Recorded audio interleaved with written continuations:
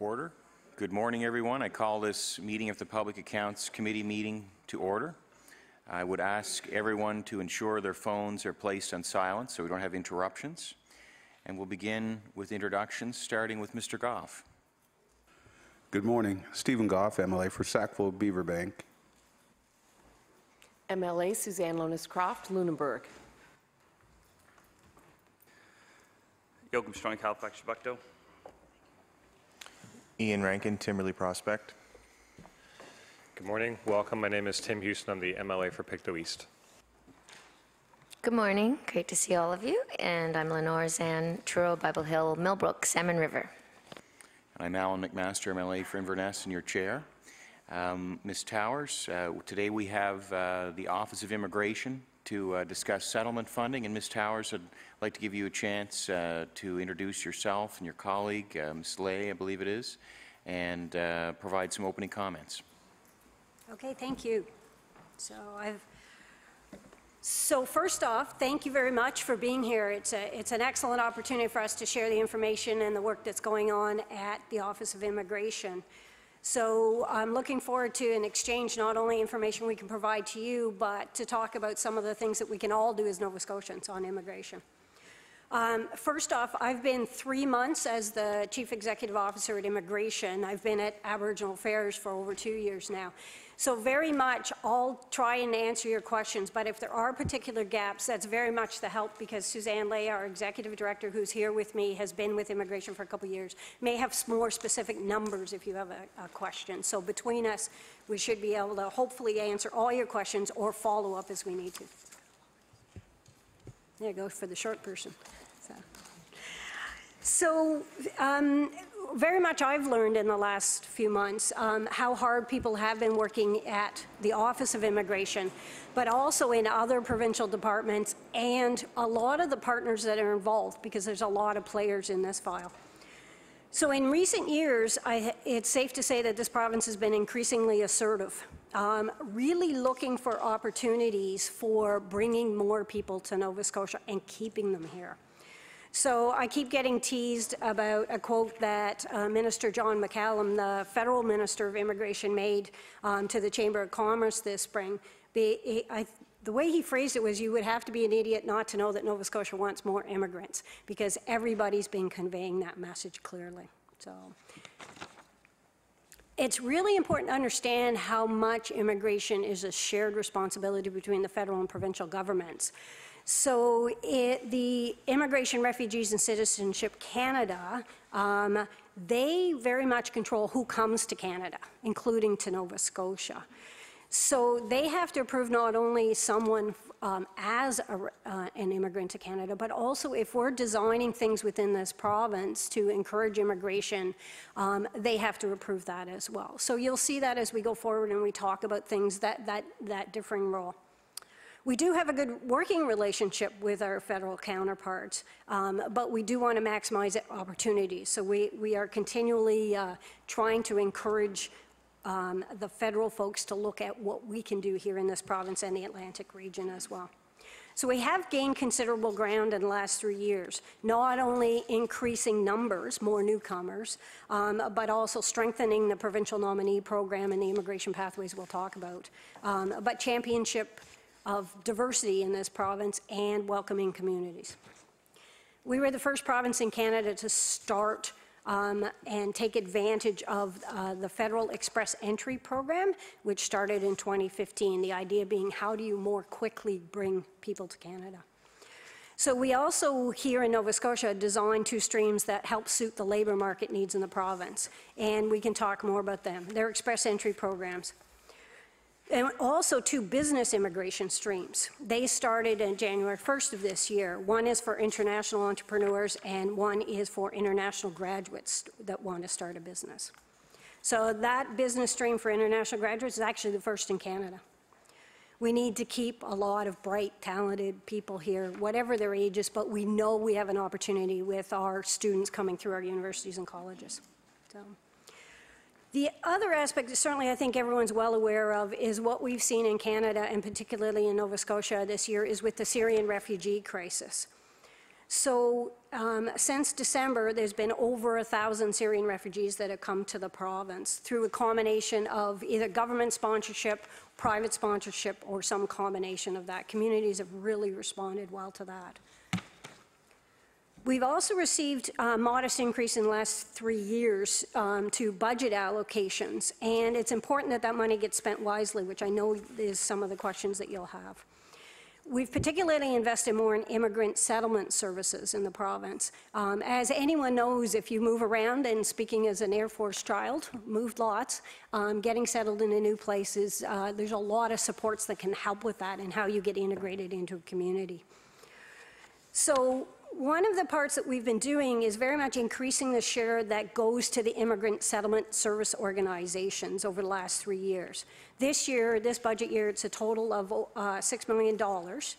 Um, in 2013, it was 5.4 million as a comparison, and we can talk in more details about those numbers.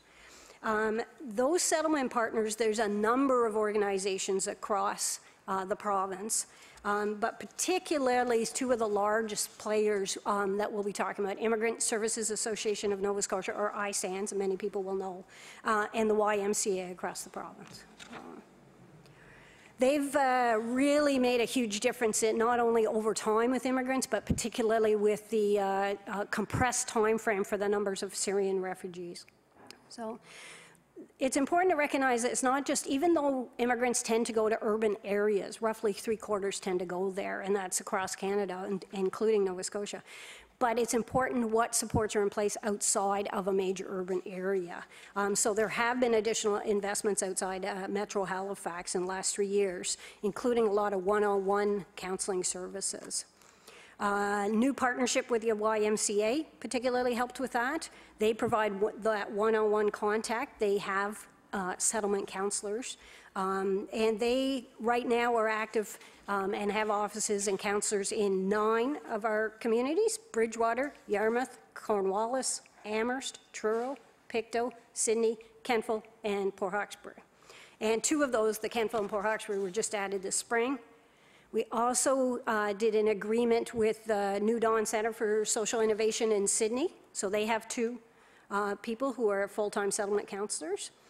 Um, And there's also been other investments we can talk about that have uh, played out in Bridgewater and other areas. So, so it's safe to say that we're growing uh, in the province, the number of immigrants. Uh, They're up already. Um, We get information at different intervals, um, and that we recently received the numbers for January to June of 2016. Um, And so not only did we fill all the nominations under the federal allocation that received the cap, um, which is 1,350, which we're also working on this year. Those are the principal applicants. But remember, they also bring family members.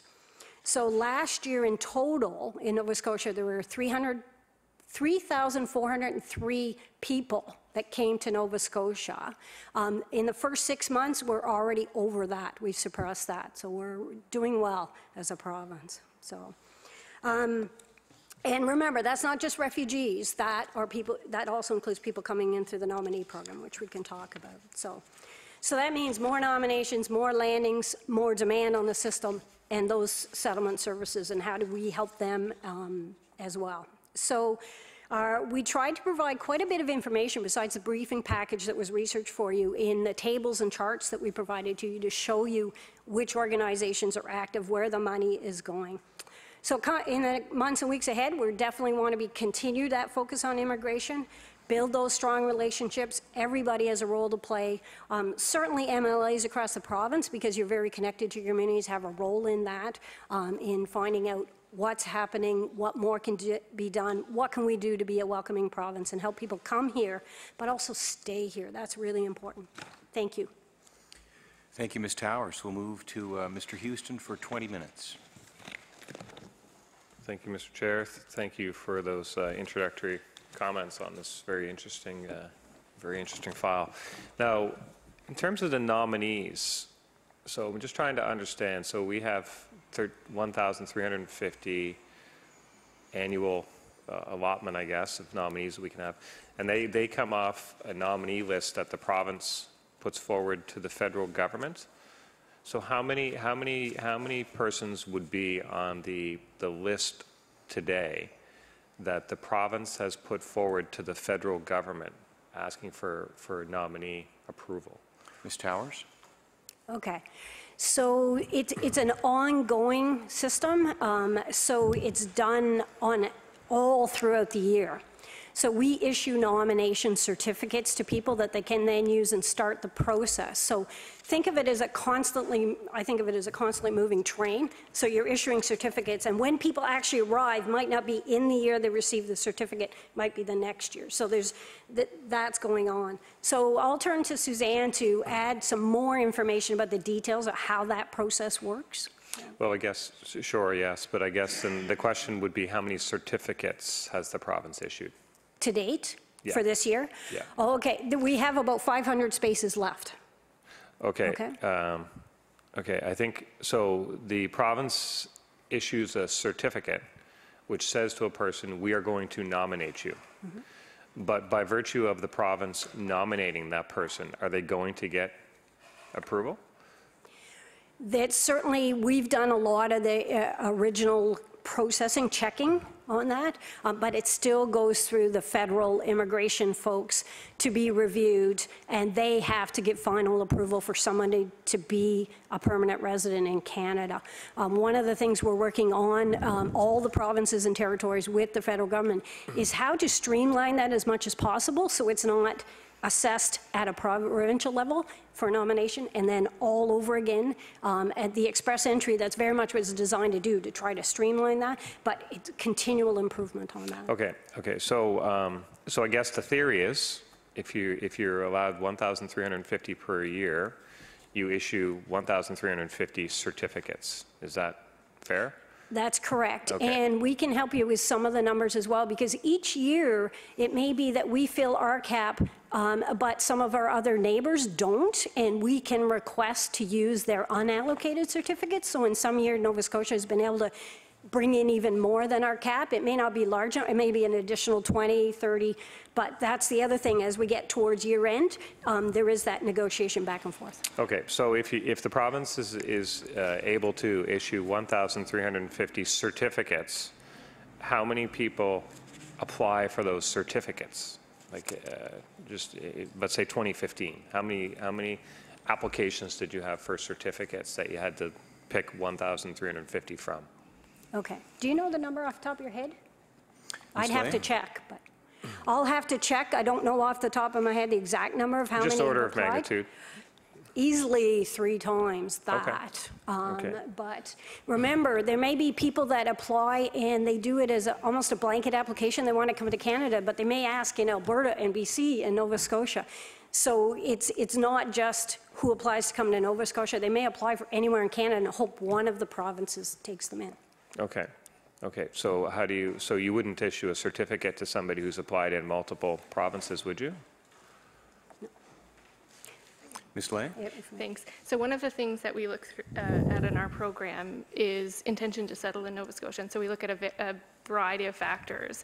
And one of those, as you mentioned, is whether they've applied to other provinces in the country. And certainly if they have, um, if there's a pattern of, you know, five applications in Alberta, that would play into our decision of whether they truly intend to come and settle in Nova Scotia. Okay, okay, no, that's helpful. So of the, of the certificates for, of the, I guess we're talking 2016 now, the certificates that have been issued, have you issued all 1,350 for 2016? No, not yet. Ms. uh, Towers?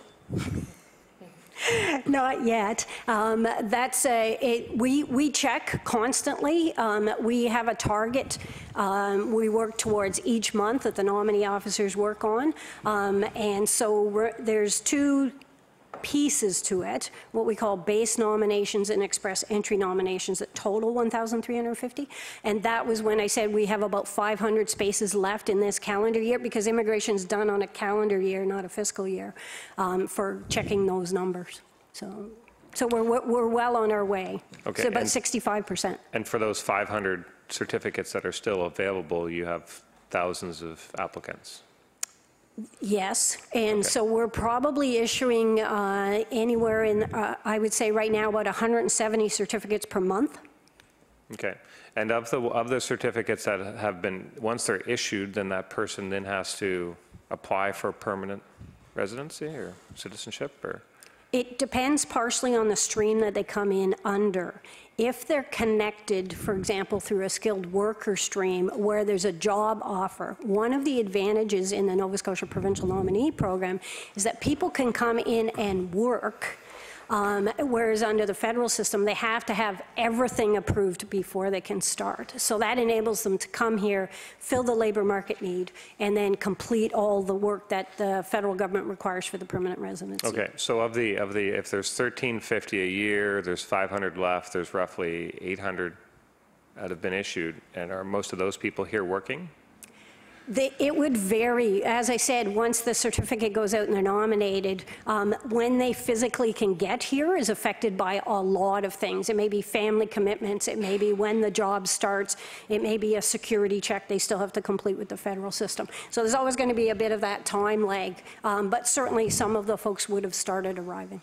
Okay, okay, so um, just to, so for last year, the th- uh, 3,405 people, I think I saw, immigrated to Nova Scotia, so 1,350 of those would have been under the nominee program. The Uh, rest, cer- some sorry. would have been under this, like, family sponsorship program, and some would have been under refugee program. Do you kind of know how that breaks down? Correct. So there, uh, um, I'll uh, pull it out here. I know I do have it in, in all this paperwork uh, about the breakdown of that. Um, So there certainly would be, I believe it's 1,079, we can check the exact number for you, that would have been Syrian refugees. Um, And then uh, the next largest majority of that would have been people coming through one of the economic streams to jobs, and then a much smaller proportion coming in as um, protected persons under another category or family dependents. Um, Suzanne, do you have the numbers handy right here? Ms. Lay? Sorry. Oh, that's okay, thanks. So um, for 2015, our total landings um, were just over 3,400, and of those, um, uh, 1,394 in 2015 were provincial nominee landings. Um, 1,090 were federal economic landings, so federal economic streams, and then 917 were federal non-economic, so family class, refugees, that kind of thing. And so there's a difference um, there's a bit of a nuance in here where, uh, you know, there's 1,394 landings, um, which basically translates translates to the nominees we've nominated in the past and their family members that are coming with them. So there's a bit of an order of magnitude where, um, you know, a multiplier where a person, a principal applicant who's counted under the 1350 brings with them potentially a spouse or children, so that the landings number is usually higher. Okay, okay. um, Just in terms of the, uh, in terms of the process to become a permanent resident, so do you have a, like a number, what's the average length of time it takes for somebody to become a permanent resident in Nova Scotia? And does that different, is that different across provinces? Would different provinces have different? Uh, Ms. Towers? So it would vary across provinces. Right now, the average time in Nova Scotia to process someone under the provincial nominee uh, program is a month. We're fairly quick at going through that. The amount of time then until they can arrive, as we talked about, might be affected by other things. Under the federal system, under their express entry system, their target is um, within six months, and they're meeting about 85% of the cases within six months under the federal system, whereas Nova Scotia, we're at a month. Okay, okay, now, okay, let's, let's, so in terms of the, um, the settlement funding, so the province, the budget's about $6 million this year. Now, am I correct to, to, like, that's in addition to federal settlement monies? Is that, is there two pots of money that come to help with the settlement process, or is it only provincial? Uh, You're correct, there are two pots of money. Uh, The provincial is the just shy of 6 million um, that's coming out of province of Nova Scotia. The federal amount is around 8 million. So combined, it's those two, the 6 and the 8. So it's 14 million combined. Now, the federal, the 8 million is probably a- just a formula, is it? It just comes off how many, how many immigrants arrive in Nova Scotia, I guess, or? Yes, it is very much based on numbers. And remember, there's also funds for different aspects around settlement. Um, It could be pre-arrival, it could be language services, it could be workforce-related. Um, So it it can be coming out of different funding sources as well. The federal? The federal um, and also even our provincial, that 6 million is a reflection of uh, about four, ju- 4.3 million that comes from uh, settlement services which the Office of Immigration are directly assigning through our budget. Um, And also through the job fund agreement, there's a million and a half um, that is coming through federal monies originally to labor and advanced education for various work-related eh, um, employment development, which is then directed to the immigration budget. So they, again, the provincial one is the 4.3 direct settlement services and a, and a cluster of services there, and the million and a half that is very much related to job counseling, resume writing, all those types of services. And then the federal 8 million would be, again, those range of types of services. But we work closely, it's important to know that um, they're not duplicated. It- We go out of our way to make sure that we're working with our partners um, so that it's, it's directed where it most is needed um, uh, for those settlement supports, and it's not the federal government and the provincial government funding the exact same thing. Okay, um, so the, the, the federal and the provincial, and is it, is it, how does Nova Scotia compare to other provinces? Like, does every province get a federal allotment and then top it up with money from the provincial treasury? Or do the, different provinces do it different? I can certainly uh, know that the federal government would be providing money to provinces and territories for immigration, but I could not speak to what provincial and territorial budgets would be for their own immigration. But, but is it your, is it your understanding that every province adds some add some additional monies to the process, or is there any provinces that think this is a federal responsibility, so it's federal, federal money? I can certainly check on that for you um, and get some information back to you. Okay. It would be, it would be, just be interesting to see what's the, if there's any philosophical differences at the provincial level on who's supposed to, who's, who's responsible for funding the settlement. Um, I guess that, because I'd be more curious if that in- then impacts, if they're able to get more federal money. You know what I mean? That's, so I would be, I would be interested in that. Um, Now, in terms of the, in terms of the, let's talk about the 14 million, which would be the six from the province and eight from the feds. The department, your department disperses that 14 million? Does the, the federal government send their, their aid out in chunks to the YMCA or to whoever, or do they give it to your department to disperse? So I can speak to what the Office of Immigration does, um, and then Suzanne may be able to add to it because she's worked both in the federal system and the provincial system. Um, So what we do is uh, detailed service agreements with the different organizations. And so within the information that was provided to you in the charts and tables, you can see which organizations, for example, in this year, in 2016, 17 fiscal, um, there's 14 organizations across Nova Scotia that are receiving funding. And so we work through basically a service agreement. What are you going to provide? Um, Here's the uh, approved levels for salaries, et cetera, the types of services. Um, And then, as well, if there's any slippage, like one organization is not going to use all its money in the course of the year, um, we can then look at if that can be shifted to one of the other organizations that may have additional needs. They may, they, their proposals may say, we're expecting to service 30 clients or 50 clients, and they may have more or less. And so we can reallocate as needed to, to shift that gap. Um, I'll turn it over to Suzanne to uh, touch on the federal aspects of how that money is distributed. Ms. Ley?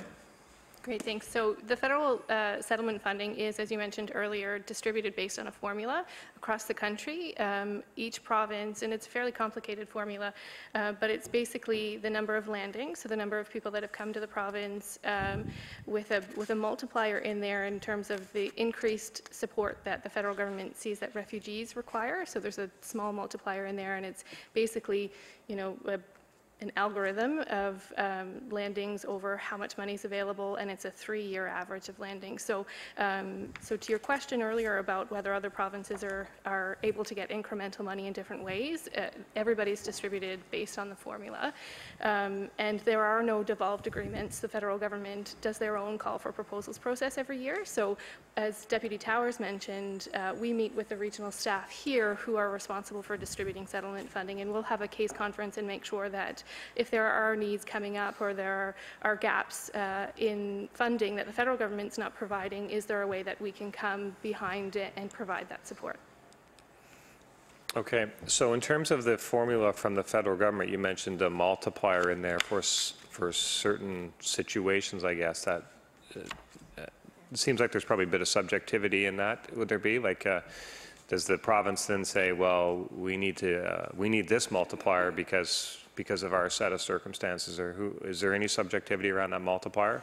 No, the multiplier is only on refugee landings, uh, and it's basically, so the number of landings every province has, and then a small multiplier for refugees and only refugees, and it's a national formula uh, applied across the country. Is there any, is there any multiplier for whether the, um, where people are going to go to urban centers versus rural centers? Or is it the same? Not in the national model that I've seen. Okay, so in terms of, in terms of the, um, so in, in the- so the province has $6 million. That gets distributed out through, I think, 14 organizations? And so some of those, I just want to make sure I understand, some of those 14 organizations would be getting, they'd be getting provincial money, and they'd also be having a separate application to the federal government, and they might be getting some federal funding as well? Is that, would that be the case? Uh, Ms. Towers? Yes, it would vary with the organization. A large organization like ISANS, the Immigrant Settlement Association, they definitely are receiving both. Um, Some of the others may be very small scale, very localized, very regional. It may be just provincial money, or it may be just federal money. Okay. In terms of the 14 organizations that the province has service agreements, so those 14 organizations get to $6 million? Is that, that's kind of, a- in in rough terms, that's how it works? So, um, so are they all not-for-profits, or is there any profit organizations in that, in that 14? Maybe you have the list of 14. Yes, and we'll, we'll pull that out. We'll find the page number to reference in your briefing material so that you can see those. Um, But yes, it, the eligibility even to apply for that money, so what happens is the province issues an invitation to apply, basically a call for proposals in the fall of each year. And um, so any of those nonprofits can apply. They have to have a background in immigration settlement, Um, but it, it also gives the categories of types of services, but it's still pretty open-ended, you know, they can be very creative within that. Um, And then that's assessed, and um, they're confirmed, subject to budget appropriation, um, in, by February, so that they can start work 1st April. Um, So that's very much how that works. Um, Suzanne, do you have the table number handy for folks to look at? Ms. Lane? Thanks. So it's in the uh, submission that we provide, and it's Table 2AI. Um, And so you'll see that most of those are not-for-profit organizations. Our settlement guidelines don't disclude um, language schools, private corporations, if there are, um, if there's an an identified need. And so um, the only one I think that may be an exception to the question about not-for-profit is New Voice Languages and Tutoring in Lunenburg. I believe that they have a business line uh, where they teach um, language to international students, where they make a profit. Um, But they, I think, may be the only one. Okay, so uh, in, in the the 14 that, that signed service agreements, that would be, how many, how many organizations would have applied? Do you have any sense of, was it just 14 that applied and?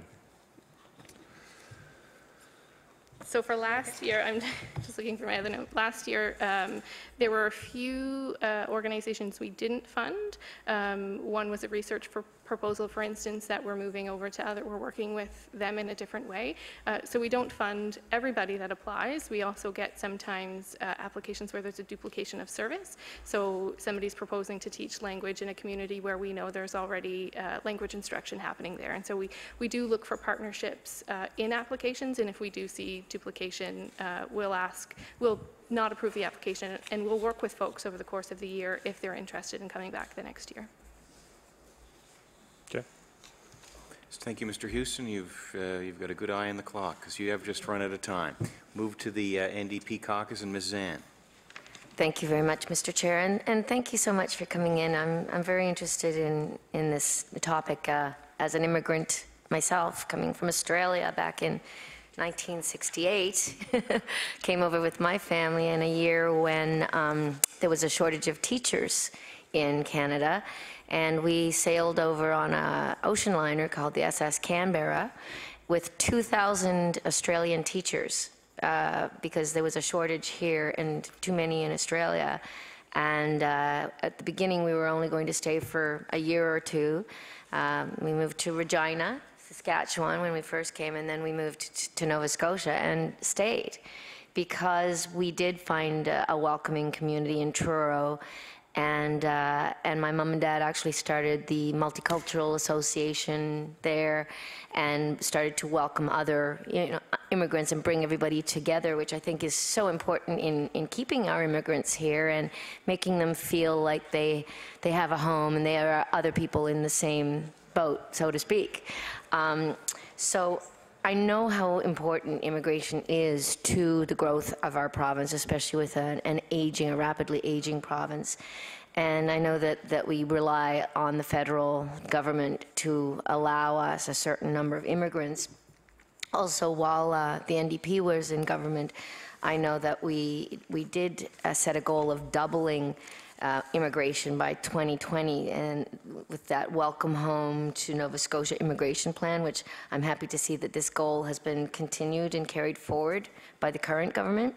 So to meet with that goal, uh, it's said in that, that uh, program that the province would need to issue 1,500 nomination certificates a year by 2020, um, which would obviously require the federal government to eliminate the cap on nomination certificates. So uh, has there been any progress in that? I noticed that, for instance, um, the immigration minister, John McCallum, in Ottawa, uh, told Nova Scotians that the cap would be looked at again sometime in the next three years, but he didn't really offer details. So um, could you maybe provide an update on, on this situation? Ms. Towers. Thank you.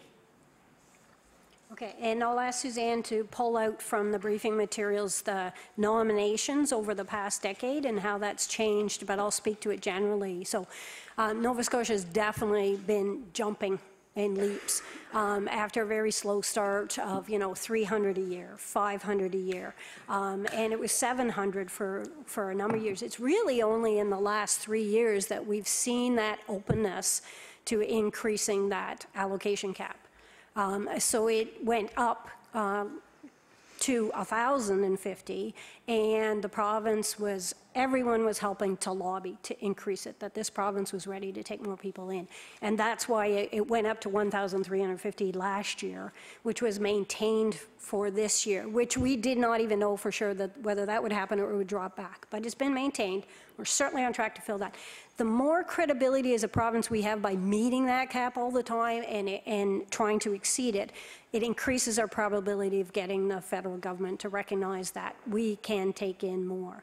There's a couple important points there. One is we need to make sure that the communities are welcoming, as you mentioned, but also that there is education and employment. Um, Jobs are very much a part of that. We need to employ everyone that's here. As you know, in my other portfolio, that's important as well.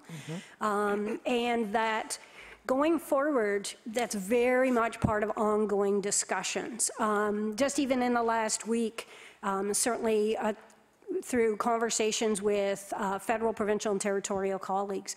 That's what happens. Each year, um, there's a discussion, and uh, provinces and territories lobby the federal government for their numbers.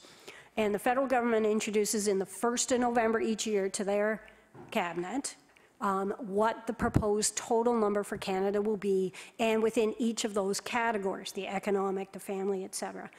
Um, And the other part that we've, besides just total numbers, that everyone has been um, trying to work towards and negotiating is whether we can move to multi-year planning.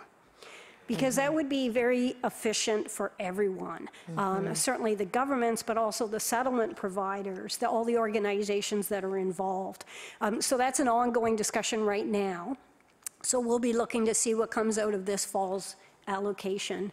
Um, The other aspect that you may have heard about, um, which Minister McCallum did announce with the Atlantic premiers back in July, was around a pilot specifically for the Atlantic region.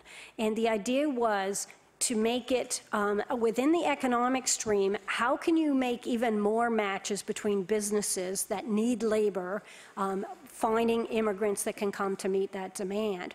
And so what we're working on right now with the, the Atlantic region and the federal colleagues is what are the, what is that program going to look like? What are the criteria? How do we identify what the needs are? What are the occupations that we know we need, the types of workers?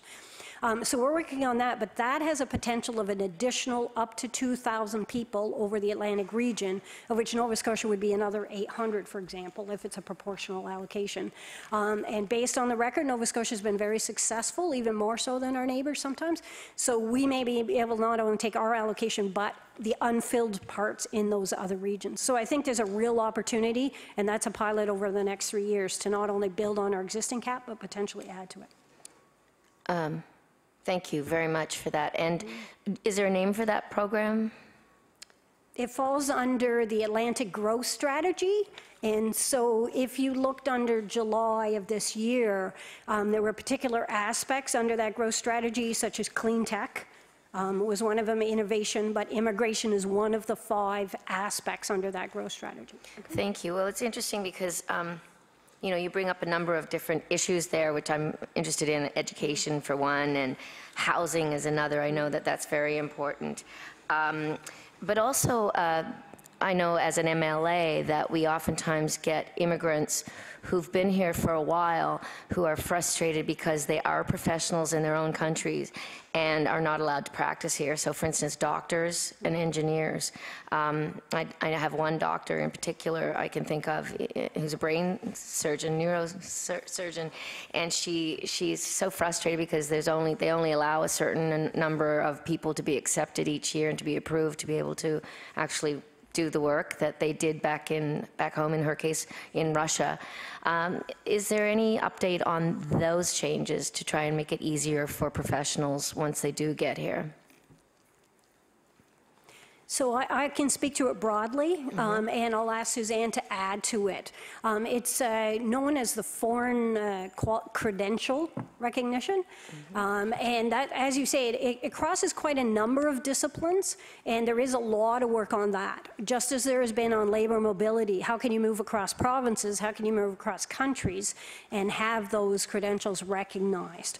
Um, And it- it's there's more than one part to that. One is not only are they recognized the institutions they may have come from, for example, um, the practical experience somebody may have, um, but also sometimes it's a, there's cultural aspects to it as well. And one of the interesting examples that was provided to me by some of the folks at ISANS was around pharmacists how there were people from other countries that came and they knew their science, they could figure out dosages, no problem. But they had not culturally been exposed to what would be typical in Nova Scotia and Canada in terms of how you interact with people. And so they were not passing, it was a cultural competency, they were not passing their test because of that. So they, and they, they figured that out. They're taking um, groups, whether it's pharmacists or some of the other fields, and saying, what are the existing barriers? What is it that's affecting somebody's credentials being recognized? And then figuring out how to um, help people move through that system. And as well, there's a lot of work going on in Canada. There's a working group across all the provinces and territories and with our federal colleagues on foreign uh, credential recognition.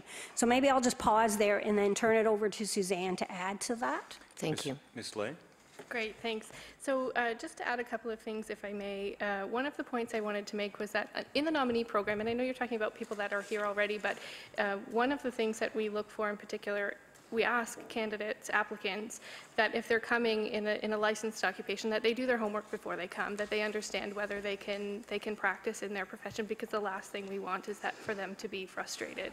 Um, we also provide supports uh, pre-arrival, so uh, working with ISANS and with others, uh, with the, uh, an organization called SIP, we do some uh, information sharing for folks before they come. So what's it like to be in Nova Scotia? What if you don't have a job when you're coming, what is it what does it mean to do a resume here? What does it mean to work with uh, the licensing body in your, in your uh, field of practice, for instance? Um, but we also work with our settlement service providers for the folks that are here already and potentially are frustrated. So we have some occupation-specific bridging programs, for instance. Um, uh, we have a program run out of NSCC for internationally educated nurses. Um, you know, there's some job workshops, um, some communication-specific programs. So as Deputy Towers mentioned, making sure that folks are able to work in their in the new culture that they're living in, using the skills that they're bringing from home, um, which is part of the part of the work that's happening nationally. I think in terms of best practices. Thank you. Um, I believe in this particular case, uh, the the woman came over with her husband who had a job at the, at Dal AC, but she's a doctor, and they do, the- they only allow like one or two or three each year to, to to be accepted, something like that. So which is, it's just very frustrating. They- They've been here for quite a while now, and she still isn't able to practice. But um, that is something that I noticed when I was in British Columbia too. Uh, when I lived there, there were a lot of taxi drivers who were, you know, from other countries who were engineers and doctors, and they were driving taxis, which is hard. So it is nice when you can tie the need for jobs in, as when when we moved over here, there was an obvious need for teachers, and we filled that, and obviously stayed. Um, I was going to say. I had heard that the, um, that the increase in the provincial uh, immigrants hasn't necessarily been kept up with the funding, uh, and in particular for the provincial nominee program. So I noticed you said that you went from, it went from 5.4 million in 2013 to 6 million now. Um, But so in the last year, for instance, since we've had the, the new, the new um, immigrants and the refugees, what has been the increase in funding in the last year? Ms. Towers? I was going to pull up my numbers. Yeah, So, so there's uh, a couple of areas in which there were funding increases. sorry? It's okay. There were a couple of areas in which there were funding increases. So one is specific to settlement services, the one that we're talking about, that's now just shy of the 6 million. Um, So it's been, uh, the settlement funding was in the 2013 was 2.9 million, and then it was 3.38 million in 2014-15. It mm-hmm. went to 3.58 million in 25-16, and this year to the 4 million. Okay? We can get you the very exact numbers you want, but you can see the scale that it's going up by a few hundred thousand each year as the number of immigrants have come up as well. Um, So there's, some of it is um, uh, going into those uh, settlement organizations, because remember, it's proposal-based. They're coming forward, they know their clients, they're saying, we, we, it's not directly proportional. They may be able to provide a program, and having a few more people doesn't make a significant difference to what it's going to cost them, but it may be incremental but not directly proportional. So there's a bit of that as well going on. So, so it sounds like um, we heard from, from I- ISANS that uh, it's just that the increased numbers of people has not been met with the increased provincial funding that they actually need.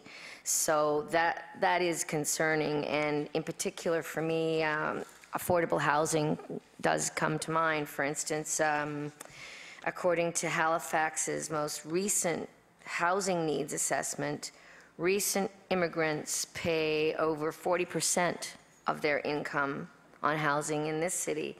And that's really just a fraction less than single individual households. So that's concerning, given that a large number, uh, a large proportion of the new immigrant households really are considered low income. And um, I know that a lot of them have children who have to go to schools. um, And that means that there are, you know, five new immigrant families actually fall within the very first income bracket. So those particular family members are working for minimum wage, and we know that that's already pretty difficult to work on. Many people have to have two jobs, three jobs in order to just survive. So what is the Office of Immigration doing to ensure that affordable housing is available for these newest Nova Scotians? So a couple of things, uh, I'll see if we can get all the pieces pulled together for you. Thank you. So there's aspects, remember, see if I get these in order. So immigrants as a whole, as you know, there's a wide range, from very highly skilled, they may be coming in, into a very high-end job. Um, the, and then the, uh, at one end of the spectrum may be folks such as the recent refugees coming from Syria. So there's a, there's a huge range in terms of what um, they bring with them and what they will need for supports as well.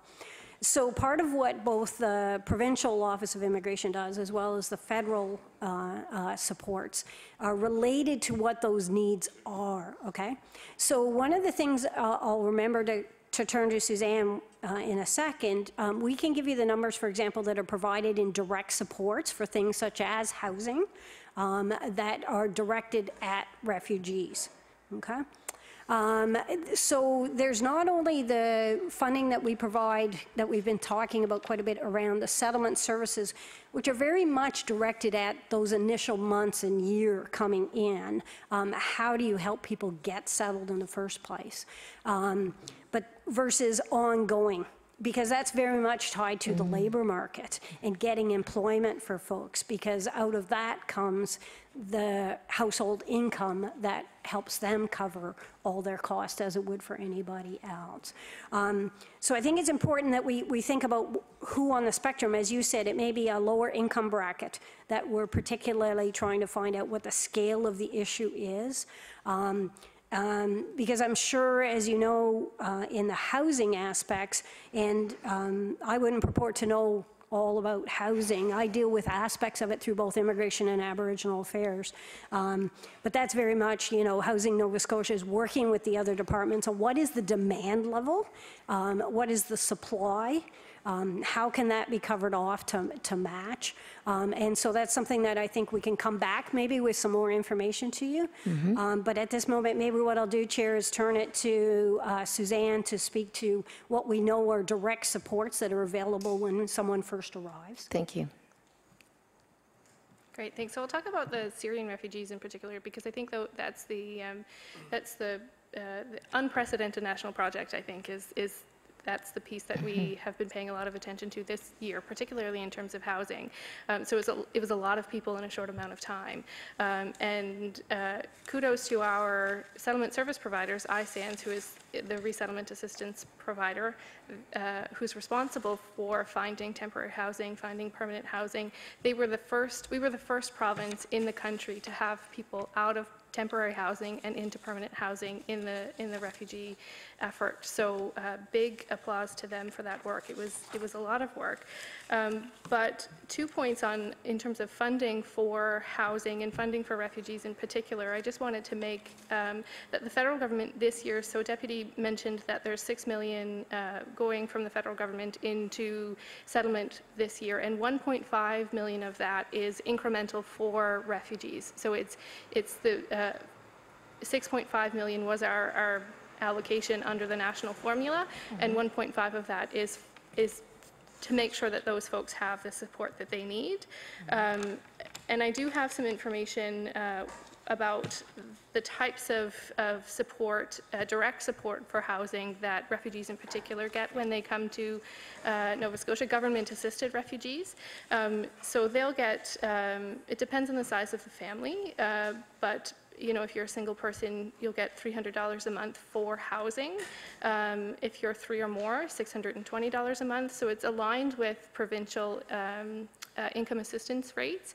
Um, Though also, one of the things that government-assisted refugees are provided by the federal government is a sort of small startup allowance, so they, uh, a bit of money to buy some furniture. Again, it depends on the size of the family, uh, and it goes from one person, which is just over $1,300, um, up to, you know, five people would be $3,500. Thank you. And, and uh, how long do you support uh, a new family for both? Is it different for immigrants than for refugees, or is it the same? Order, I- I do apologize. Oh. We Just ran out of time. We'll move to the Liberal caucus and Mr. Rankin. Yes, thank you very much, uh, and I do like this topic as well. I think that it's important to recognize some of the contribution beyond government in this instance, so I don't think it's con- commensurate with the, the millions that is spent in a budget line item to the support required for each individual family. I, I actually would venture to say that the that we actually bring in more revenue into the province uh, with the more immigration that we have, and certainly with the strategy with multi-tiered ways of um, getting into the country.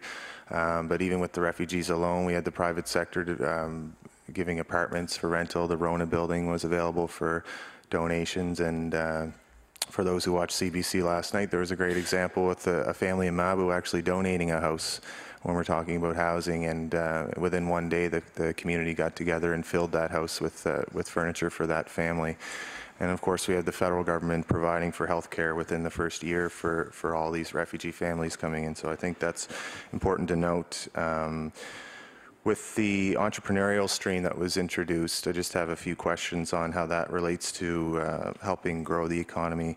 And I was wondering, given in the past that there was, uh, I think they called it a mentorship uh, program under a former government that uh, wasn't working the way that uh, it should have been working to retain immigrants here.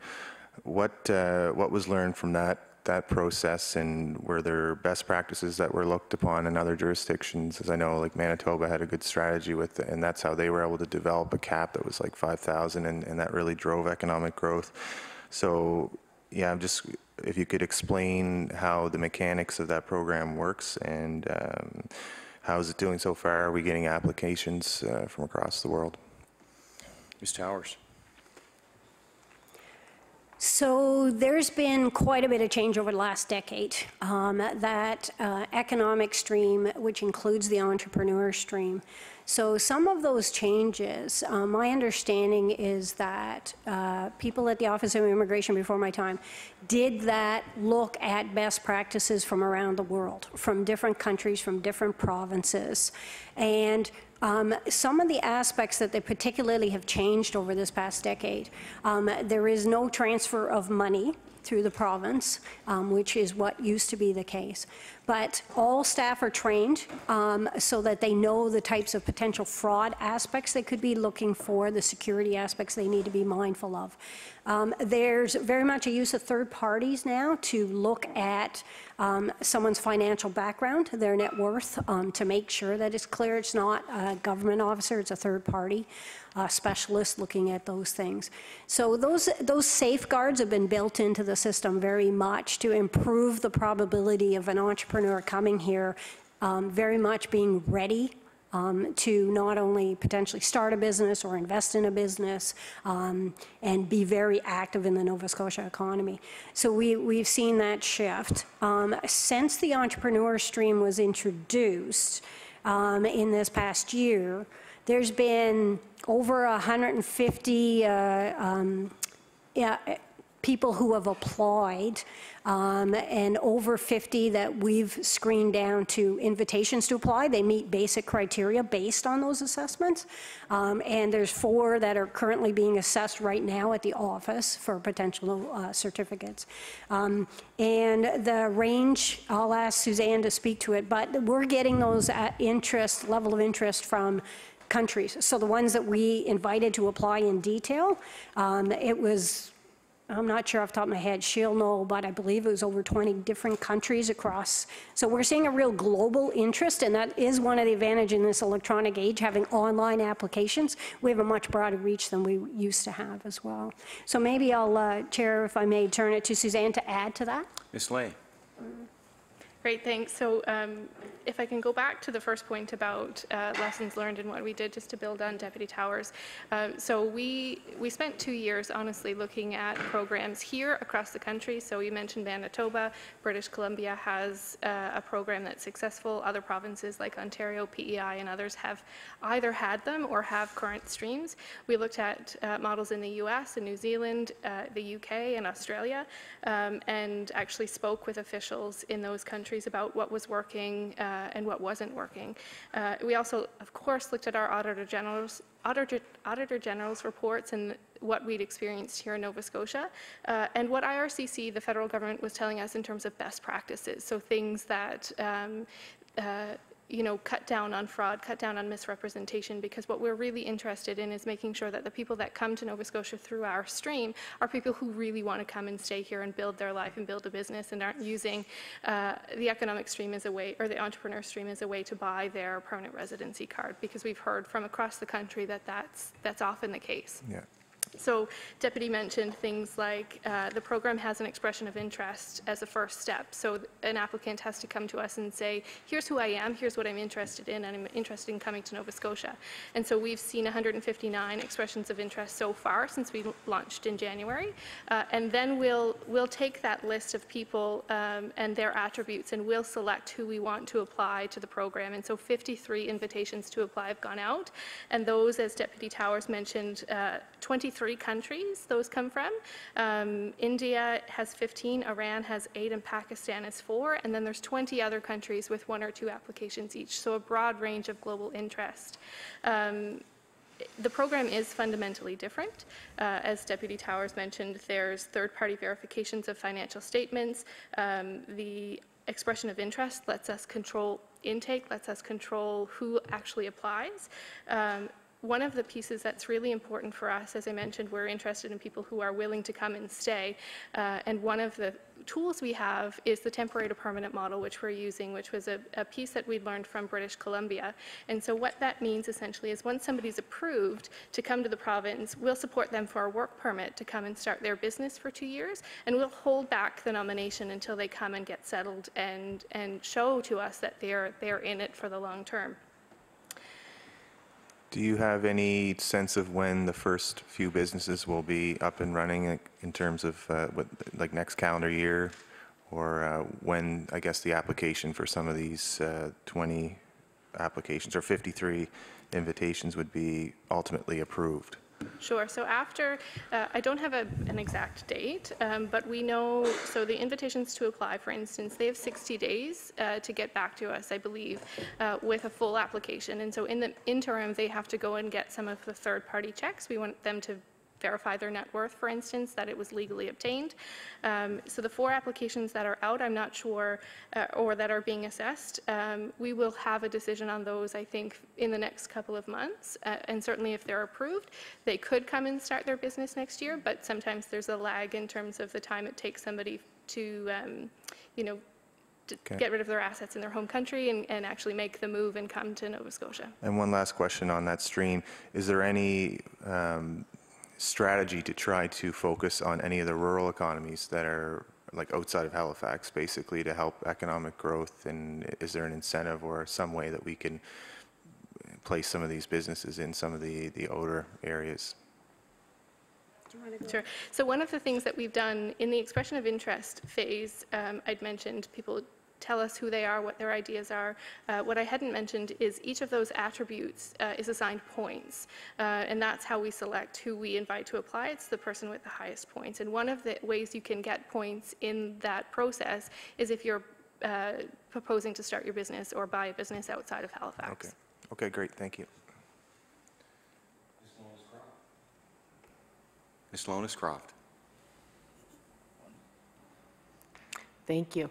Um, Every time I hear Suzanne, I sort of jump, thinking I'm to, to address something. Um, Ms. Towers, you, you mentioned in your opening remarks that um, immigration was a shared responsibility between the federal and provincial governments. And that's where I get confused, because as an MLA, um, my office is often contacted by, especially with the, with the um, refugee program here, um, with questions, um, re- you know, people coming for resources and information. So can you, like, better help me understand where you go separately and where you intersect your, you know, or overlap in, in uh, your mandates? Ms. Towers. It's really important if you have any inquiries as MLAs um, and somebody's interested or un- trying to understand the system, that's what our office is there to do. Um, So not only everyone that works there, but in particular, there's a dozen nominee officers and their manager and director that are there that know the system inside and out. So they can help people say, if they're, for example, maybe they have someone, they have a family member they're potentially looking to help um, immigrate. Um, They can say, okay, here's all the different pathways, and we'll speak to that in a second, um, that exist. And then what is the best match for you and what you're looking for? Um, Is it general information on immigration? Is it specifically someone who wants to immigrate? And that's very much our role, is to, to make those connections um, so that we understand both systems as best we can um, to help people. So one of the things that would have been in your package is um, around immigration pathways. What are the different ways to come to Canada and to Nova Scotia? And so you may be able to see in that, it's even color-coded, if uh, people can find that, this is what it looks like. Because it's, it's a very helpful piece sometimes to get a quick overview of the immigration system. Oh.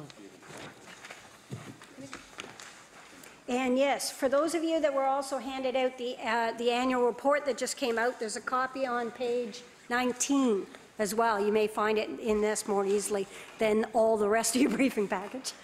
Uh, So when you have that up, you'll see that it's, it's, in essence, it, it- we, it's purposely color-coded just to make it easier for people to see. The part that's in green is the provincial role. And so that's the nominee program and the different streams associated with that, the skilled worker, the express entry, the entrepreneur that we we're talking about. Um, Whereas the other colors in there, particularly the blue, relate to the, a- the parts that the federal government handle as immigration. So the federal role, because they have the legislation, um, the Immigration, Refugee, and Protection Act, that federal piece, they have overall control over how many can come to Canada and who's approved to come to Canada, and under which of those categories. Um, So then they allocate out to the provinces numbers and types within those pathways. But the provincial role is very much then to help people within each of those pathways where is their best fit? We may be referring them to a federal contact if they don't fit within a provincial stream directly. So that, that's our role, is to help them within that, but also help them navigate the overall system. Yeah, I hope that answers the question. Yeah, okay, that helps. Um, I found 211 was very helpful, the information found on that, and, and we did refer a lot of groups to that. Um, Sometimes, um, I've, I've heard back from groups when they went up to the Office of Immigration, they didn't find it welcoming. Um, And I think it was just um, the environment at the, when you actually, physically, it didn't look inviting. And I don't know if that has changed or whatnot, but uh, there seemed to be lack of information on the glass plate doors and whatnot. So has that become, has anyone remarked to you about that, or? I, ha- I have not heard that directly myself, but it- there may be a couple of things there, and I would be curious to know, um, and we could have a further conversation on that with anybody who's hearing anything along those lines, because, one, was it the federal office they went to? I'm Or the not sure. provincial office? I'm not sure, Yeah, um, because, tha- because that's, I, I can't speak to the federal office. And the other is the Nova Scotia Office of Immigration just moved. It was up the, str- up on Brunswick Street, um, which is where the federal office is al- already located, but it just moved this spring. Um, So I only have direct knowledge of the new office, which is up in Spring Garden Place. Um, And I've certainly been hearing from staff um, how much more open and bright and welcoming it is. There's signs when you come in in multiple languages. There's a dedicated receptionist there to greet people.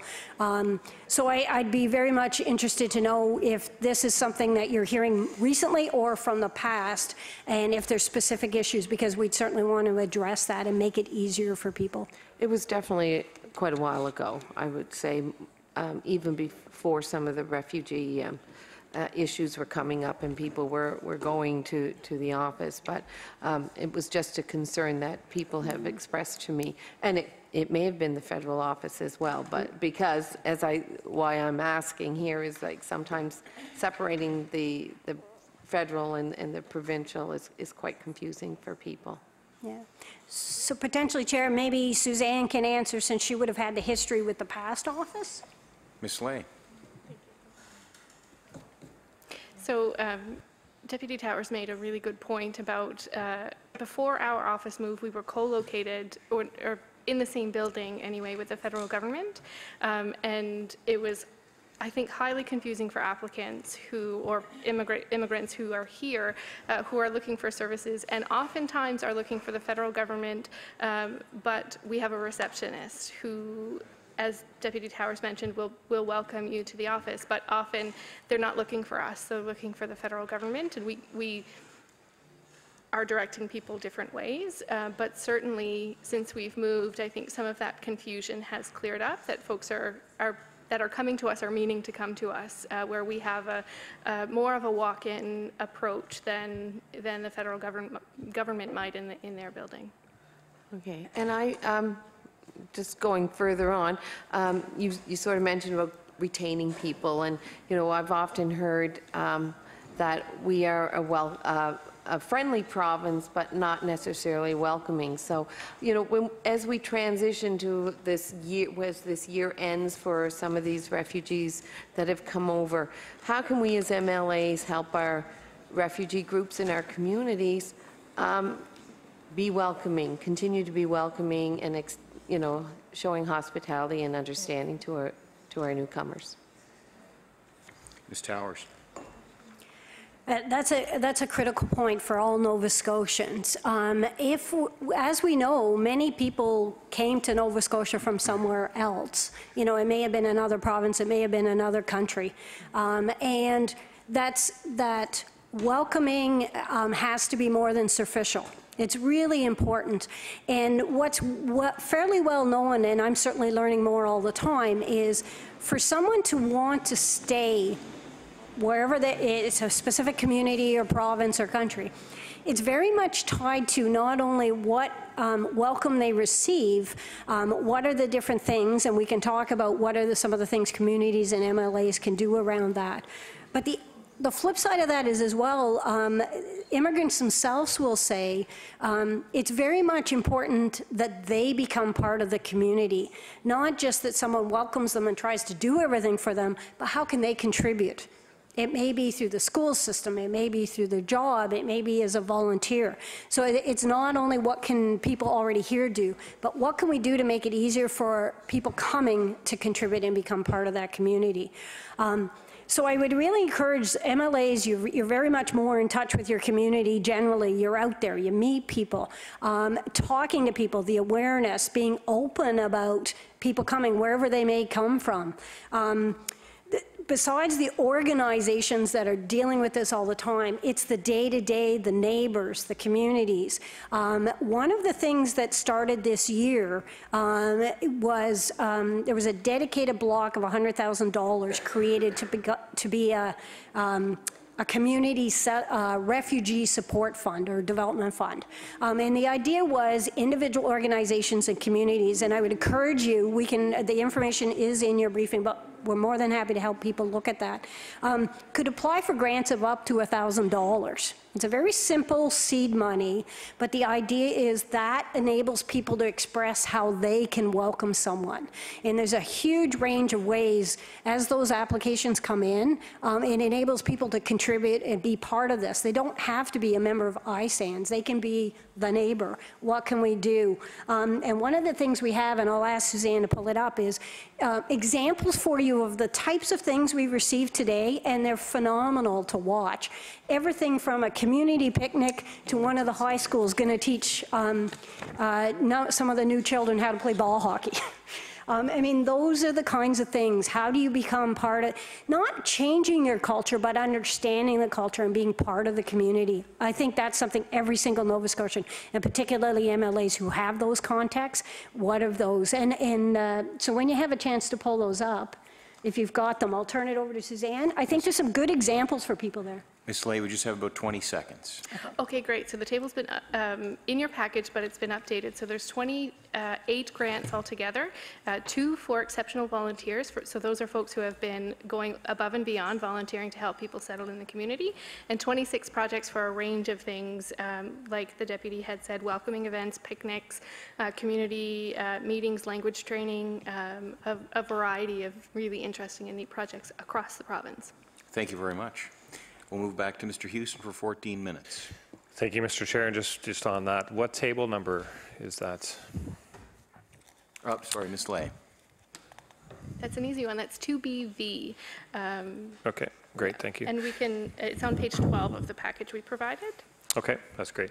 So in terms of the, um, the um, 1350 certificates, the nominee certificates, and you, you get thousands of applications for that. So is there, a- can you share with us, and you maybe don't have to discuss it all now, but I wonder if you could share with the committee the, the, the- the process, the, the criteria that you use? Like, do you score them? Do you score the applicants? Or maybe there might, might even be a chart you can just share with us. Is that something you can, you can share with us? Is it, is it Ms. Towers? So this is very much something I'm learning myself, the details of that uh, review process. So I I will ask Suzanne to speak to that because I'm going through the orientation myself to learn all those pieces, not only uh, um, here in Nova Scotia, but what's used federally as well.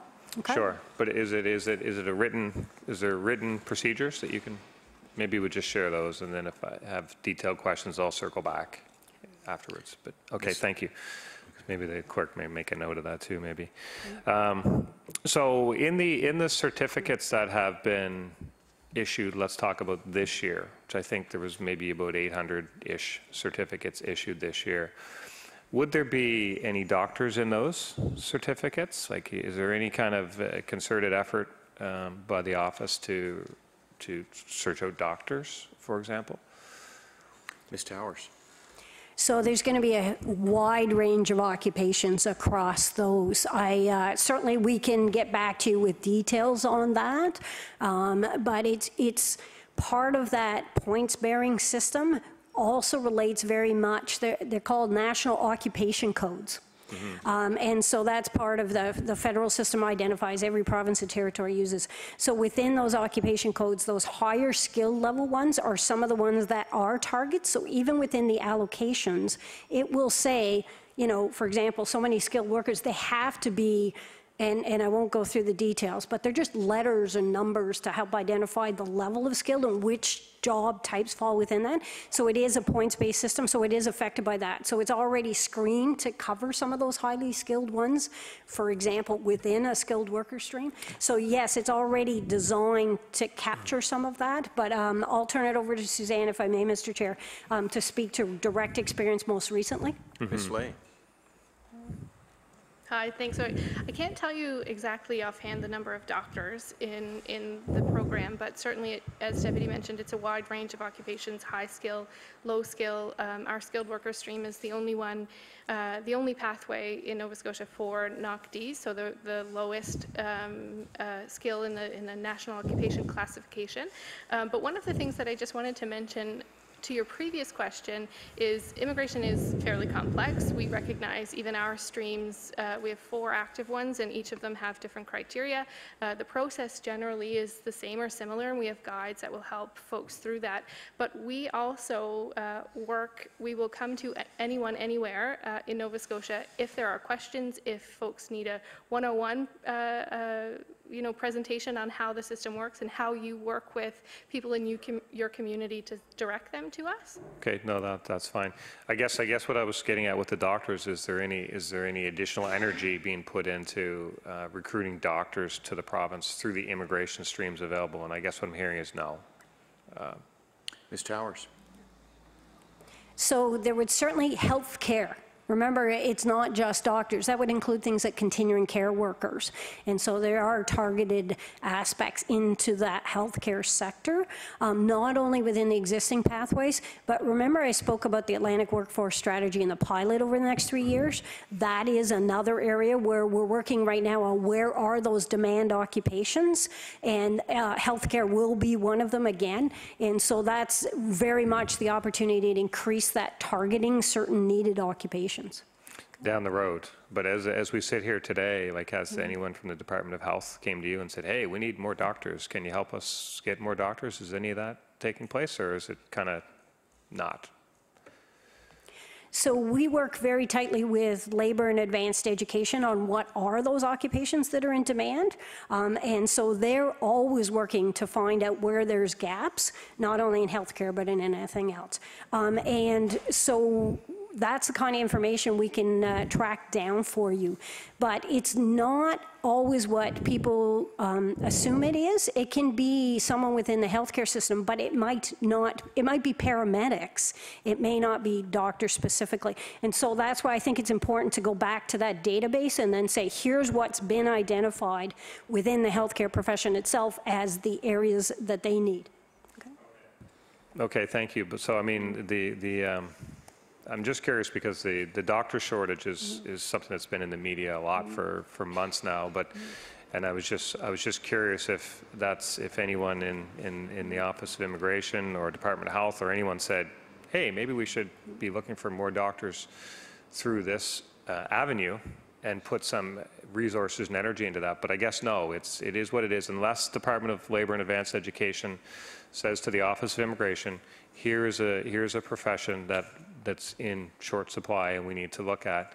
And that even really hasn't happened from what I take from you outside of what, there's no additional uh, effort being placed. I guess that's a fair summary on my part, is it? So I think it's really important, even though we're getting data through labor and advanced education, remember, they get their information from the businesses and the sectors themselves. Because uh, it's really important to know the people that will be employing, um, what do they need? And, and that generates where are the gaps or where are the areas in which we need to target. And that's why I think it's really important to go back to that, um, not what we're maybe hearing about, um, but what are those actual numbers? What are the known gaps by the people that are trying to hire folks? What is it that they're not finding? The Department of Health has a physician recruitment team. Have they come, has that team reached out to you for help? Do- Ms. Ley, or Ms. Ley? Thanks. So um, we typically hear from, we, we do work with them, and we work with other organizations that are recruiting doctors. Um, And we hear from them typically when, when they come to a point where they're trying to hire an immigrant. So they've identified somebody that they're trying to navigate the system and bring through a pathway. And so that, as Deputy Towers mentioned earlier, that's where we'll work with them to say, you know, the skilled worker stream really is your best avenue, or we think you'll go faster through a federal program, so we recommend you go there. Um, So that's really how we work with them. It's, it's based on a, a supply, uh, or a demand-driven kind of model. Mr. Houston? Thank you, Mr. Chair. I guess I would ask very specifically then, is that, to me, that seems like that would be an area where they're coming to you all the time and saying, here's, I would hope there's, here's a physician we want to hire, can you help us? Is there, is there a whole bunch of active files in between, between the Department of Health and, and you guys now at this stage? So we can look into that for you. As I said, I'm not sure how many doctors are in, are in our inventory or are, have been nominated this year, but it's certainly data we can look into. Okay, okay. Uh, Let's go back to, in terms of uh, settlements, funding, there's a lot of, there's, you know, I guess 14 million in the province that goes into settlement funding projects. Now, the, um, the College of Physicians and Surgeons used to have a a program that helped immigrant doctors start working in the province. And that, that program was canceled by the college in 2014. So is your office working to help them reestablish any type of a program that would be specifically targeted to helping physicians work in the province? Or is that um, something that your office would not be actively involved in? Ms. Towers? We have not been approached by the college um, asking about that, to my knowledge. Um, I'll check on that for you. Um, But we have not been approached on any specific labor needs that way. Um, It tends to be very much individual businesses reaching out to our business officers saying, this is what I need. And it can be anything from metal workers to um, continuing care workers. There's a huge range. But remember, in Nova Scotia, a lot of our businesses tend to be small and medium sized, so it might be one position of one type or two positions of another type. Um, But to my knowledge, no one's asked specifically about that particular one. Um, I will ask, uh, Chair, maybe uh, if Suzanne has heard of anything, but not to my knowledge. Ms. Ley? Ms. Ley? Thank you. Um, So my understanding, I- I was aware that the program was canceled in 2014, and at the time, that they were looking to go toward a national model, so uh, aligning with other organizations across the country, uh, similar uh, to what we talked about earlier, to making sure that international mobility is one of the areas that we're concerned about, but making sure people can move across provinces as well. Okay, thank you. In terms of the, um, in terms of the funding, I'll talk about the 6 million from the province, and I do have the table, so thank you. Uh, I I don't see any, um, any, um, there's a lot of continuity in, in this, year, from year- same, same organizations year over year. There's some movement, but, but, and there doesn't appear to any, to be any for-profit um, organizations on that list. So I just wanted to just specifically know, is that, it's not because they're excluded, it's just because they haven't put a, a program forward that you've approved? Ms. Tow, uh, Ms. Ley? That's right. So um, there's this, there are one or two each year that we don't fund um, typically, um, but generally, we're working with organizations that have capacity, that they've been doing this for a number of years. ISANS, for instance, has been doing settlement for, excuse me, 20 years or longer, 30 years, uh, longer than 30 years. Um, uh, So it's not, like you say, it's not that um, they're excluded in any way. Uh, Sure. Yep. Okay, so in terms of the, in terms of the funding, so the 14 million in settlement funding comes into the province from the federal government and provincial, provincial sources. And we have roughly 3,000 immigrants a year, I guess, so we have 14 million dollar pot providing services for 3,000 people a year. How do you assess the, uh, whether, how do you assess the effectiveness of the spending of that pot?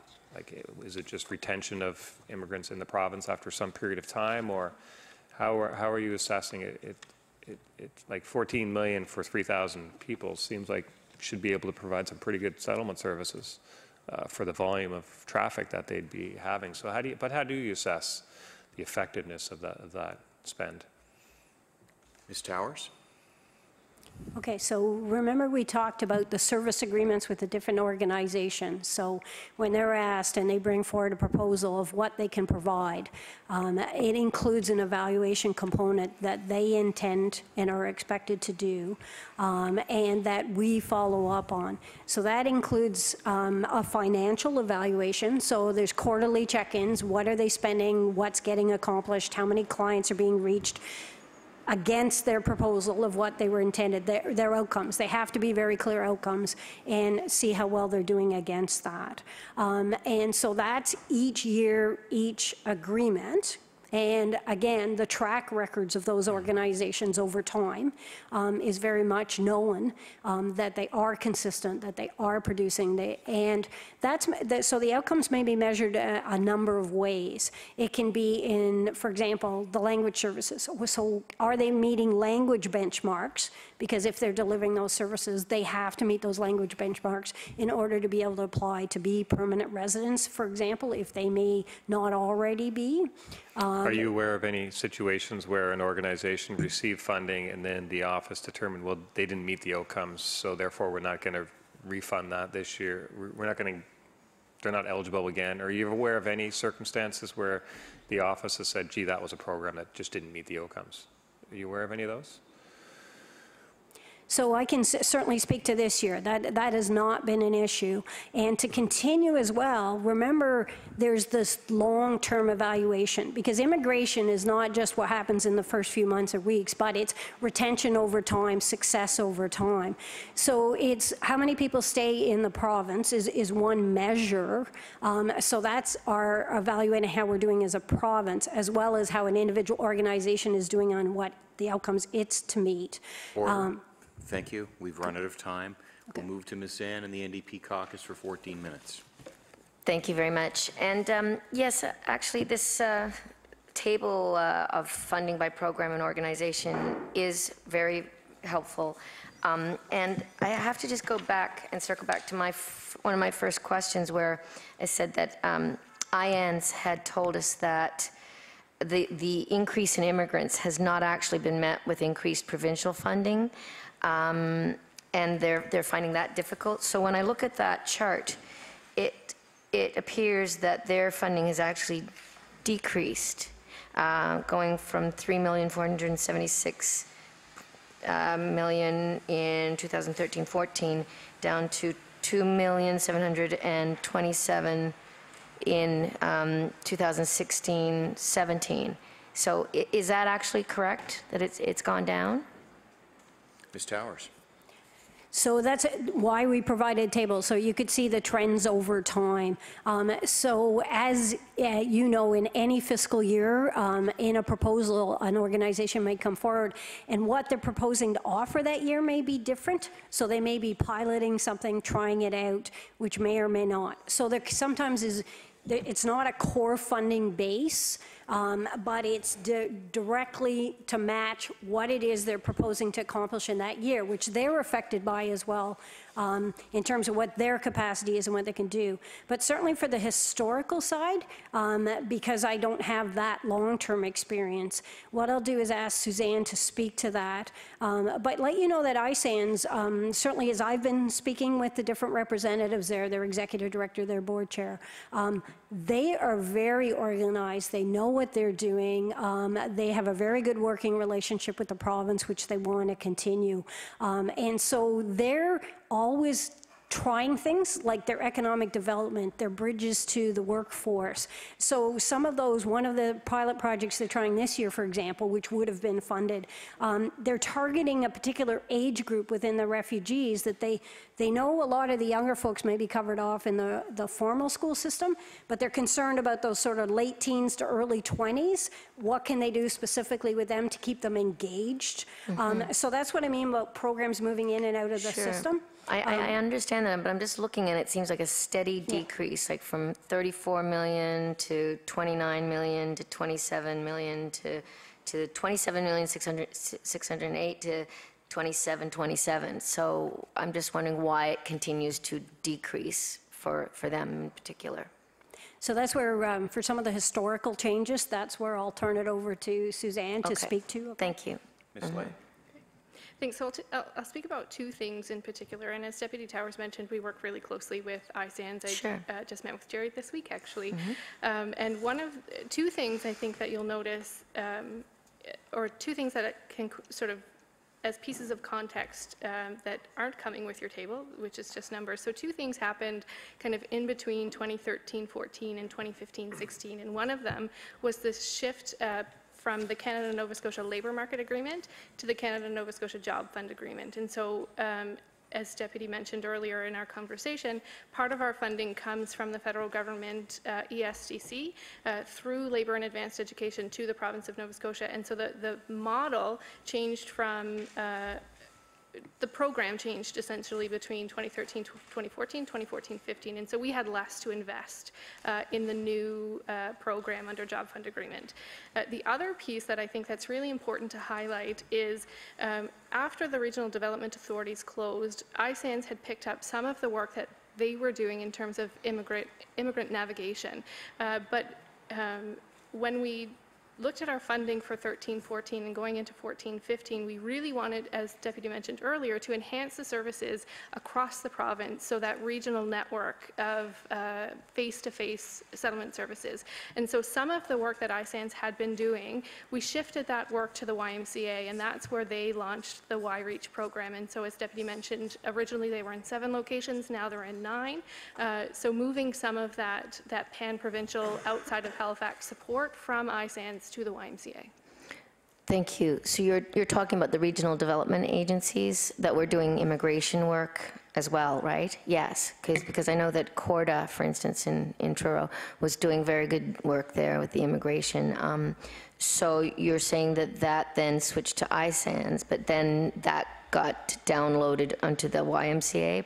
Yeah, so it shifted a bit. Um, It shifted from, the RDAs were doing some navigation, um, and in a couple of locations, ISANS picked that up when the RDAs closed, uh, but it wasn't everywhere, and um, it was sort of bricks and mortar um, where we needed a more kind of pan-provincial uh, outlook. So that's when we partnered, and you'll notice the YMCA's funding changed significantly from 2013 to 2014-15, and that was that shift uh, and the launch of the Y-Reach program.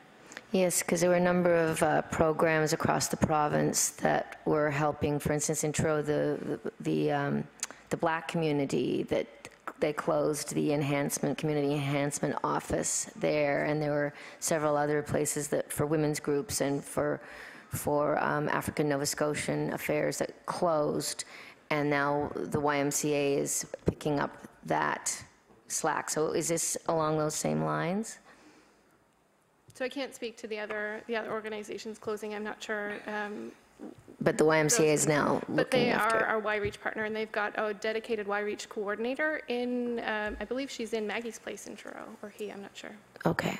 And, and how many of them do you have across the province? Nine currently. Oh, not, those are the ones that are the nine. Okay, and so is there just one person in each of those nine communities? That's right. Okay, thank you. I was going to, I wanted to just turn to education um, with, I'm I'm also the education critic, so I'm curious um, about the support for Syrian students. Um, You know, in the classroom, I know that at the Joseph Howe Elementary School here, they saw an influx of 41 Syrian children in February of this year. And it was a, obviously a sudden increase, but it expanded the school's population by a, a third from its existing 146 students. And in a news article, the president of the Nova Scotia Teachers Union said that teachers were struggling to support these 316 Syrians expected in the Halifax Regional School Board this year.